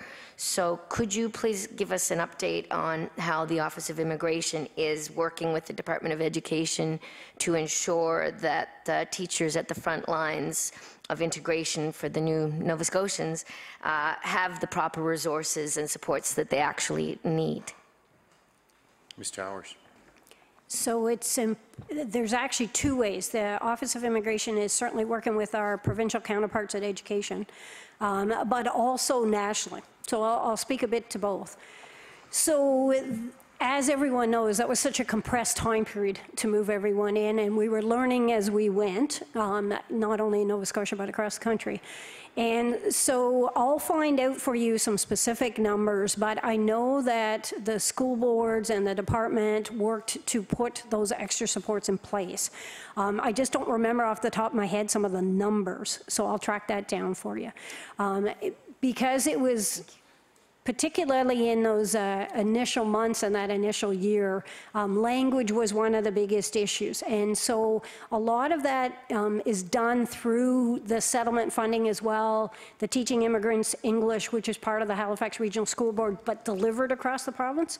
Um, and that's not only, because this is an important part, as we all know, learning language, it's not just within the formal school system, but some of the programs have been designed to help after school as well. The libraries have been involved in that, doing some programs so that not only the young children who might be in the primary to 12 system, but their parents are going and having conversational activities to try to increase their language supports and their proficiency. Now, on the national side, because this is not unique to this province with the influx of the 25,000 refugees, um, there's a lot of work going on with the federal government to find out what are the reasonable level of supports, what has gone in already, and what should go in in the future. So that, that's underway now. Uh, Thank you. And, and so has there been an increase in funding from, then from the Department of Education for the, to cover these new Syrian students? So that's what I'll track down for you, because my understanding is that there, uh, the funding, but I'm not sure if it's a reallocation or an increase, and that's what I'd need to check to get the specific numbers and how that was handled for you. Thank you. Um, About the English language training, in an interview with CBC in June, Gerry Mills uh, said that, uh, well, she voiced her concerns about immigrants and refugees settling in Nova Scotia who may have recently graduated from high school, as you said, in their home country. But many recent immigrants aged 18 to 25 miss out on English as second language training offered in the high schools throughout the province, which makes it challenging for this particular segment of the immigrant population to integrate. So, in order to find good work and participate in the new communities. So, what is the Office of Immigration doing to address this gap, the gap in, in training? So that was one of the, uh, you may remember me mentioning, uh, that was something that ISANS was piloting through the funding our office is providing to particularly target that age group and have, they come in and they have conversational classes to help them adjust to, to everyday life in Nova Scotia and increase their probability of opportunities, not on the labor force, but also, as we know, it, that's a high-risk age for anyone, whether they're immigrant or not, to make sure how they can be actively involved in their communities. Um, and I know that uh, um, even when I met with ISANS, uh, be two months ago, just after I started, they were struggling because there was such a demand for language. They were running about a dozen language classes, just trying to get everybody through. But they've caught up, as of last week, they've caught up on that backlog now. So they've not only gotten everybody through introductory work, um, but the key now is how do those other supporting pieces, the conversational classes, the library events, et cetera, how do those continue to help people continue to develop their language skills, that it's not just the basics, but to be able to integrate in a daily way? Sure, I, I, I understand that, and, but I do also have to hearken back to the fact that their funding has declined quite dramatically, I would say, from 3,476 in 2013-14 to 2,727 this year. So I, I would like to know eh, why and where, where those programs have been lost that they were offering. So if you could provide me with that, that would be great. And I think my time is probably up. Thank you. If you're finished, that's fine. We're running down, but uh, you're okay? Yes. Okay, we'll move to uh, the Liberal caucus. Mr. Stroink. Thank you very much. Uh, Thanks for your presentation. Um, I guess I kind of want to touch on um, the Ray Ivany report because that was a big catalyst of, of kind of rejigging the, the immigration file to, to where we are today. Um, You know, the immigration, the, the Ray Ivany report recommended that the province attract 7,200 new uh, Nova Scotians to, to our province.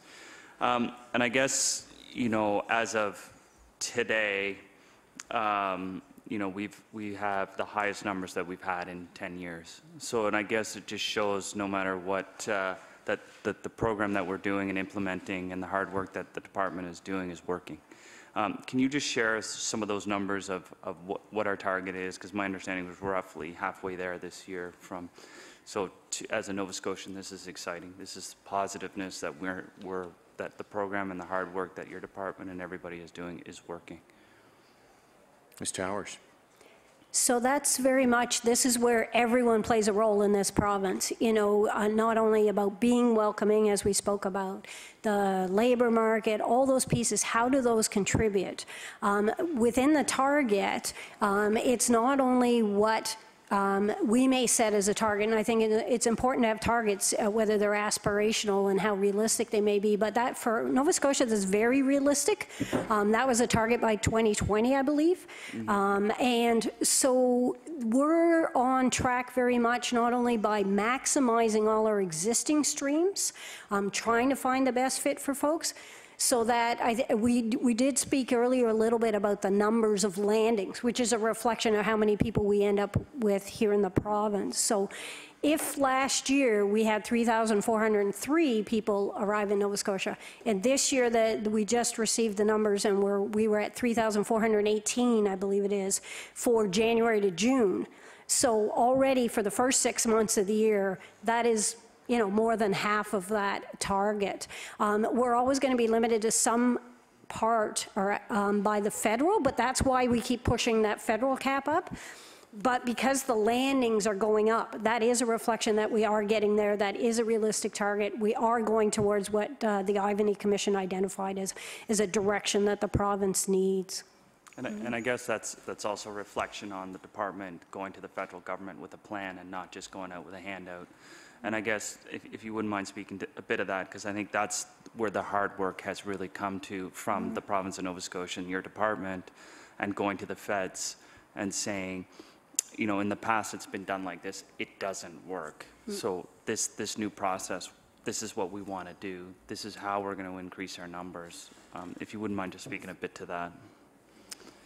And that's where everyone has a voice. If everyone, when they have an opportunity, speaking to a federal colleague to reinforce that Nova Scotia is open to immigration, that's the awareness aspect. But to your point, it's very much also about the credibility. Nova Scotia's had to build its credibility that we can and will welcome immigrants and that we know how to do it and we'll do it in a business-like way. We'll be thorough in our screening, um, but we'll also make sure not only that we can bring people here that go through that screening, but that they stay here, they contribute here. Um, And that's, I think, what the office, and I'm really lucky because I've inherited working at a, a group that um, has been very focused. It's a focused vision, it's focused procedures, um, and that is paying off, and we're seeing that. But we have to keep up that momentum, and everybody has to contribute to that going forward.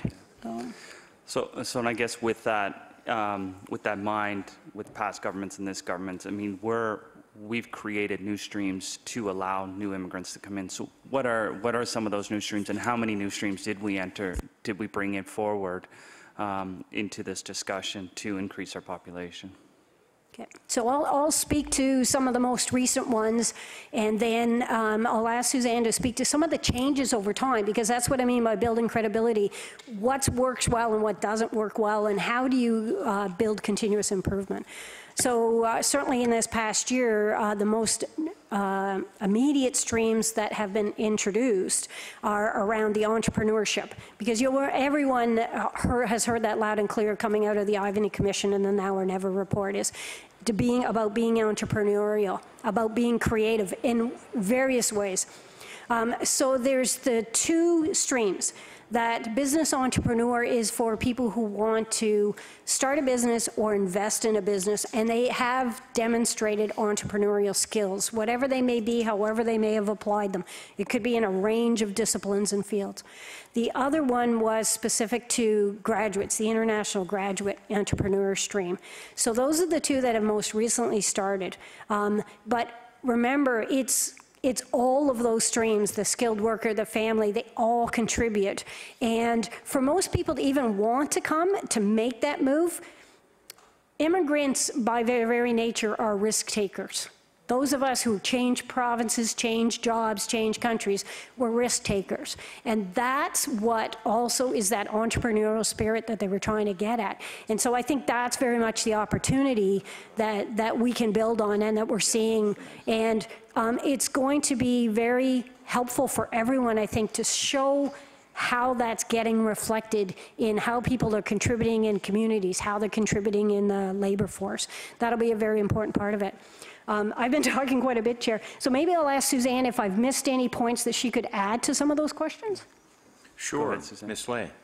Great, thank you. So just uh, two things um, to start, and then I'll go into some of the streams. But, um, so I started in, in the department in, uh, I've lost my years, 2014, I guess. And so two key things that I think were driving our work, or have been driving our work since then. One is that we need to demonstrate success. So to your point about um, talking to the federal government about increasing numbers, that only works if we're doing it well. So increasing program integrity, we've hired program integrity staff who have police background, um, you know, that can do the, the fraud checks, misrepresentation, all of that kind of stuff, quality assurance. Um, We've also filled our allocation every year, and we've gone back to the federal government at the end of the year and said, we're ready for, we can take more even this year. Um, And the other piece that I think that's really important, that um, we wanted to be nimble and responsive.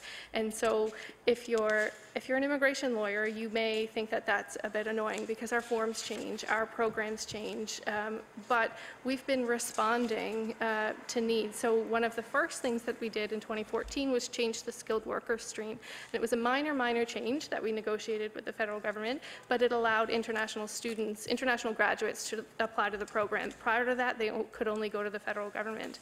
And then 2015, as Deputy mentioned earlier, we were the first province in Canada to take advantage of the federal express entry system, which meant more nominations, faster processing, and a new stream to add to our, our program. And then we were monitoring how that was going, and about two months into express entry, we were hearing from employers, major employers like IBM, um, banks, Grant Thornton, and our university presidents and our immigration lawyers that there was a gap in the system. And so very quickly, we, we responded with a second express entry stream, which has been highly successful for people who have work experience. So uh, international graduates, temporary foreign workers, um, we're processing those files now uh, in a matter of weeks, and they get six months processing at the federal level. So we've, um, to your question, we've essentially overhauled the provincial nominee program. It looks fundamentally different than it did uh, five years ago, six years ago, uh, and as Deputy mentioned, the two most recent streams on uh, the entrepreneur side. Uh, And that's, and that's very exciting to hear, because it's, um, it shows that your hard work is paying off, and it's incredibly hard for, for people to be critical of what you're doing, because the numbers show that the work that you're doing is positive, and it is, and, and I can understand the frustration for some people that it, it works, and they can't be negative about it, and that's, and that's a great thing. The other, my other question um, to you really was the other aspect of the Ray Ivany report was recommending that the province retain 10% of its, of its international graduates. And so that works out to, you know, that's about 7,000 students that we have in the program right now. And if we can keep 10% of them, that's, that's great. Where are we with that and how are we doing on those numbers? Ms. Towers? So the The tag team will start here. I'll, I'll uh, give a quick response and add, uh, ask Suzanne to dig out amongst the paperwork the detailed numbers. But um, we're very much on track with that. Um, I- you- You're correct, it's uh, about 7,000 international students in Nova Scotia. Um, And many of them do, they come here um, They like the province, they learn the province, they want to stay here. Um, And so the different streams, as much as possible, to encourage that. We do a lot of outreach. Our staff go out this time of year to all the universities and colleges to talk about immigration, to get them thinking about it as soon as they get in this province, because I think that's the important part. Get the idea planted as soon as you can. Um, And so we've seen um, the change in numbers, how much it's gone up from, you know, 100, 150 to, I think we're about 500 right now, students. So well on our way to that 10%, 700 students. So uh, Chair, if I may turn it to Suzanne, she has the specific numbers handy. Ms. Ley? Great, thank you. So um, y- y- you were not wrong. Between 2011 and 2014, we were nominating about 150 international graduates per year. Um, And since January of last year until September 10th, when we put this together, um, we nominated 708 international graduates. So it's a bit longer than a year.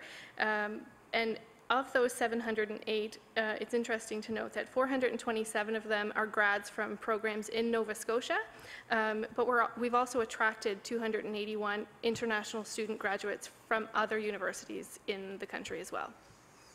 Well, that's, that's very exciting. Congratulations.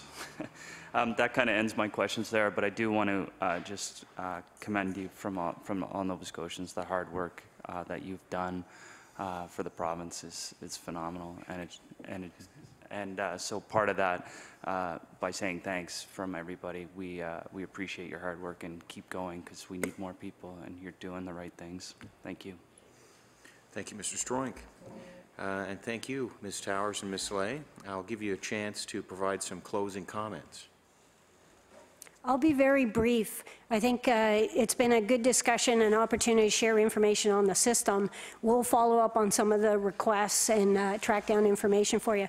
Um, I would encourage you, um, remember I mentioned about the, the community fund, um, so that even though we have had a number of applications, there is still money in that fund.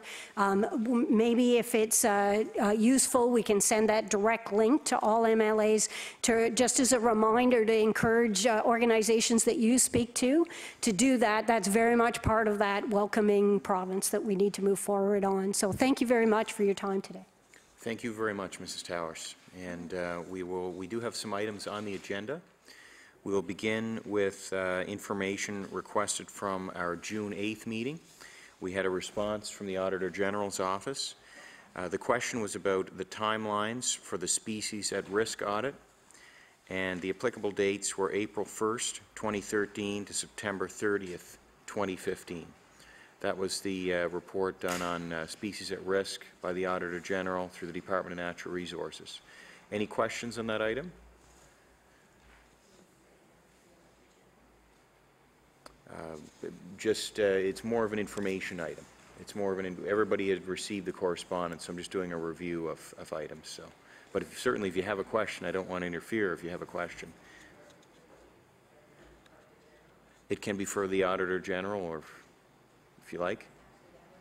Okay, okay. Ms. Zann has a question for the Auditor General. Thank you, thank you very much. Yes, um, I'm sorry that it's, it doesn't seem to be getting on our schedule at this point in time, but um, were there any particular issues with, around that particular, uh, that, that particular issue that you would like to get on the record um, about what has been going on with the endangered species here in Nova Scotia? Because I know there, there have been some different news reports, but could you maybe briefly sum it up for us?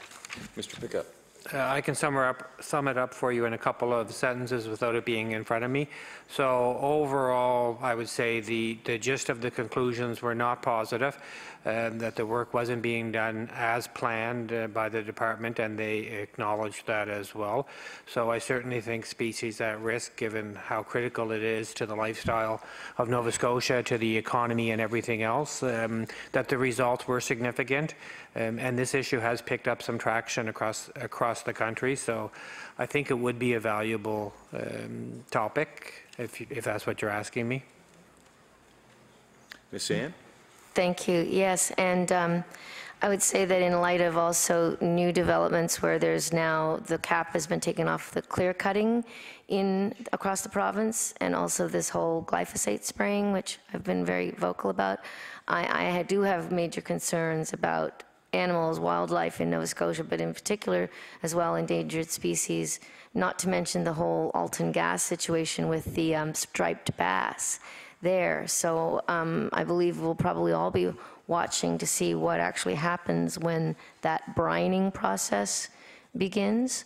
Um, Do you have any, any comments about anything, any of that, that nature?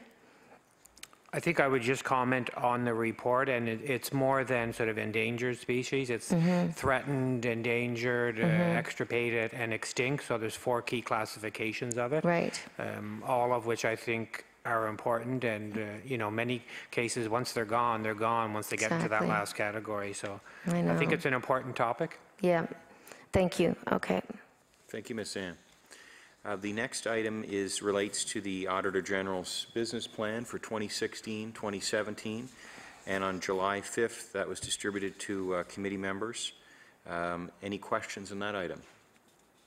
Hearing none, we'll move on to the next, oh, sorry, Mr. Pickup would like to make a comment on the business plan. I will uh, put it under the idea of the business plan, but it's a, a quick uh, comment. We, I share, I started sharing forward what audits we're doing, and I just want to let members know that we're now at a point where I can share the spring of 17 reports that we'll be working on, so probably May time. So we are doing uh, climate change, and that's part of a national audit, all 10 Auditor Generals uh, in Canada and the Federal Commissioner of Environment. And that's looking at mitigation and adaptation, so climate change. Uh, Another one in the environment area, looking at uh, how the province is doing in environmental assessments. And then two audits in the health area, one on the provision of mental health services and how effective that is, and the other on physician planning um, within Nova Scotia and looking at, um, you know, that situation. Thank you. Any questions? Hearing none. Next item we have is, uh, on June 1st, we had a meeting with Service Nova Scotia where the topic of alternative service delivery was discussed. That was for the Land Registry, the Registry of Joint Stock Companies, and the Registry of Motor Vehicles.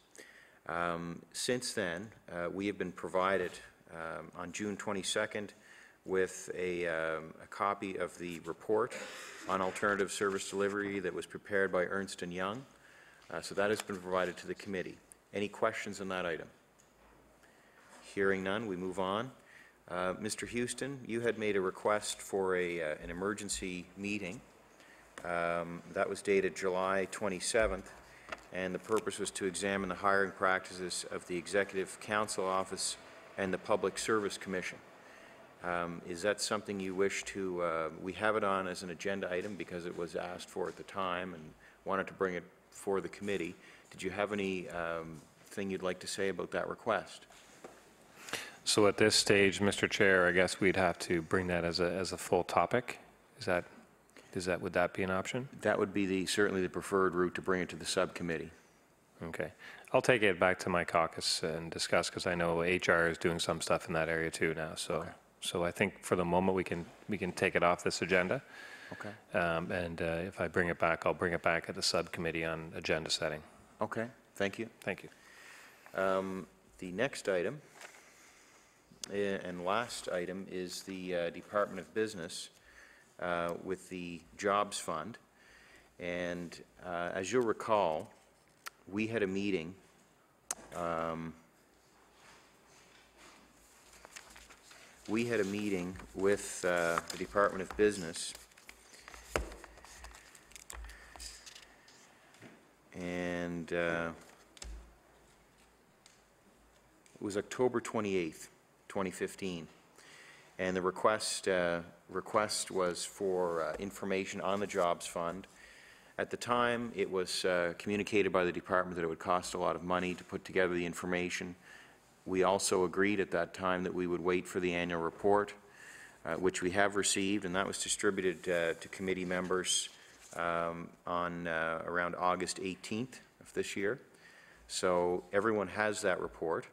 And um, are there any questions on that? Hearing none, is there any other further business to come before the committee? Hearing none, our next meeting is next week, September 21st, where we will have uh, the uh, Chapter 2 of the Auditor General's report. Um, We will have a, sorry, a briefing that morning on Chapter 2 of the Auditor General's June report on hospital system capacity, followed by our regular meeting at 9 a.m. with the Department of Business to discuss rural internet access. Uh, With that, we are stand adjourned. Thank you.